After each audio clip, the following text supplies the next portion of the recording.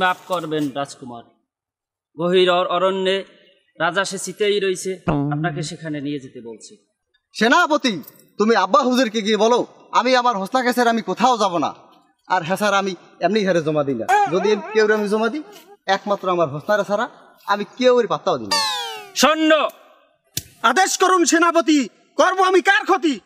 বন্দি করো রাজকুমার আরে চালাক্য সেরিডারে।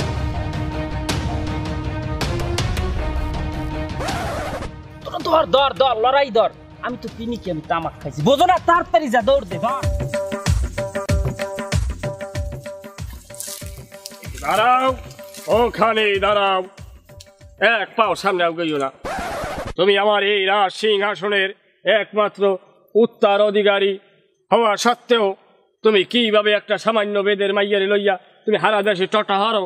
আমার মা নিজের সম্মান, তুমি পার জোতার লাগে।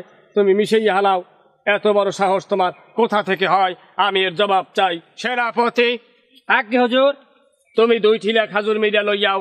এই খয়রাইতে শরীর গায়ে মাইকিয়া আস্তে শীত করে হালাইতো আরে ফিরে কামড়াই মারিয়া লাগ আপনার আদেশ শিরধার্য যাও তুমি যাইয়া মিডিয়া লইয়া তুমি কে এই মেয়েকে ছাড়তে পারবা? নাকি তুমি রাজ্য ছাড়বা? তুমি সিদ্ধান্ত গ্রহণ করো।